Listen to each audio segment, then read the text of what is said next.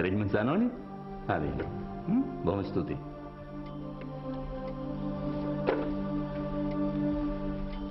Mister ඇයි ඔය නිවාඩු එල්ලුවේ? ඇත්තටම ඔය අසනීපෙන්ද?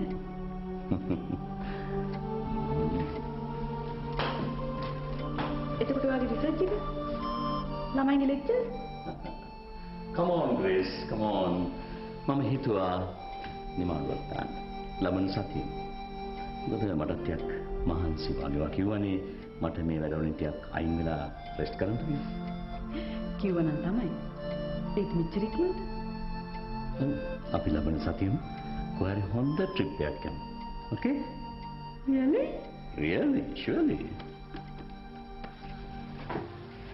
Sir මේ අර ෆොටෝස් ටික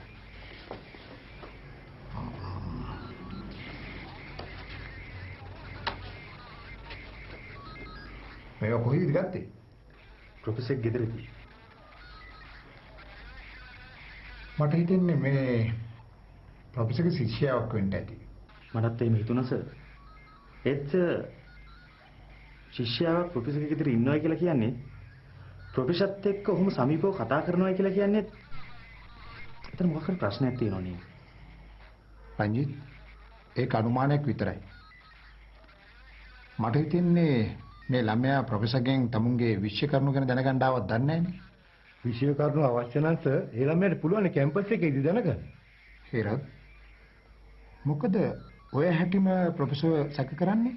සර් මහාචාර්යතුමා පොලිසියට ඇවිල්ලා පළවෙනි දවසේ කීපු දවස් තමයි සර් මට සැක හිතුනේ. අනික සර් මේ වගේ හොඳ ඔලුකාරයෙකුට මේ වගේ චරිතයක් රඟපාන්න පුළුවන්. ඒ කියන්නේ තමන් මේ මර්ඩර් එක දීලා පොලිසියට තමන්ම කියනවා. તો සර් මොකද වෙන්නේ? පොලිසිය සම්පූර්ණ නොමග යනවා සර්. සම්පූර්ණ නොමග යනවා. මේ මිනිමරුම සම්බන්ධව සැකකාරී තුන් දෙනෙක් ඉන්නවා. එක්කෙනෙක් ප්‍රොෆෙසර් අනිත් එක ෆෙඩරික් එස් මිස් සම්පූර්ණායක. අපිට බෑ මේ සැකේ එක්කෙනෙකුට බර දාන්න. හ්ම්? ඒ ඉන්න අපි හොයන කරුණ අනුව තමයි මේ මිනිමරුව කවුද කියලා කියන්න පුළුවන් වෙන්නේ.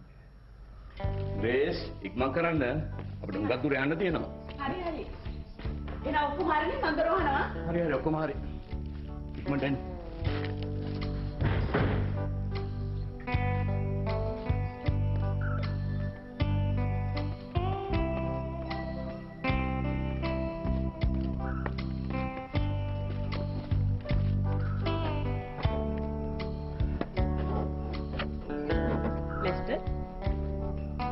අද නම් හරි සන්තෝෂෙන් වගේ. මොකද හේතුව? ටිකක් ඒ වගේ. කරන වෙලාවට හොඳට වැඩ කරන්න ඕනේ. සතුට වෙලාවට හොඳ සතුට වෙන්න ඕනේ.